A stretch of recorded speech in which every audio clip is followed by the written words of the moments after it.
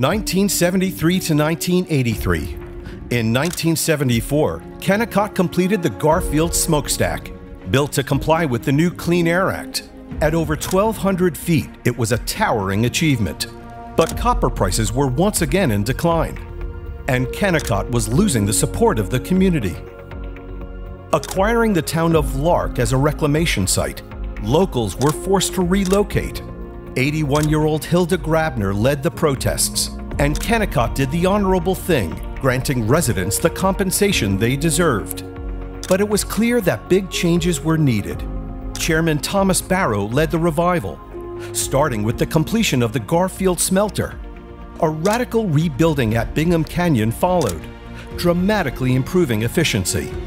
The sale of Kennecott to the Standard Oil Company of Ohio saved the business from a deep recession then in 1983, $23 million of investment was approved to further expand Utah's copper supply. Replacing rail operations with trucks cut costs, boosted productivity, and helped get Kennecott on the road to better things. 1973 to 1983, a decade of big tests and bold moves.